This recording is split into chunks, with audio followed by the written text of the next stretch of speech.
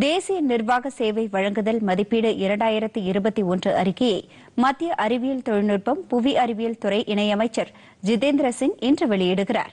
மாநிலங்கள் மற்றும் யூனியன் பிரதேசங்களின் மதிப்பீட்டையும் குடிமக்களுக்கு இணையதளம் மூலம் சேவை வழங்குவதிலும் மத்திய அமைச்சகங்களின் செயல்திறனையும் கவனத்தில் கொண்டதாக இந்த மதிப்பீடு இருக்கும் என தெரிவிக்கப்பட்டுள்ளது. நிர்வாக சேவை வழங்கும் நடைமுறைகளை மேலும் விரிவுபடுத்த அரசுக்கு ஆலோசனைகளையும் இந்த அறிக்கை கூறுகிறது.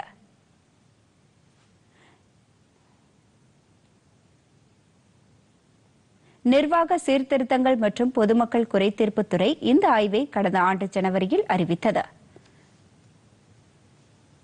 அதன்படி பல்வேறு ஆலோசனைகள் பயிலரங்குகள் நடத்தப்பட்டு மதிப்பீடுகள் வழங்கப்பட உள்ளன.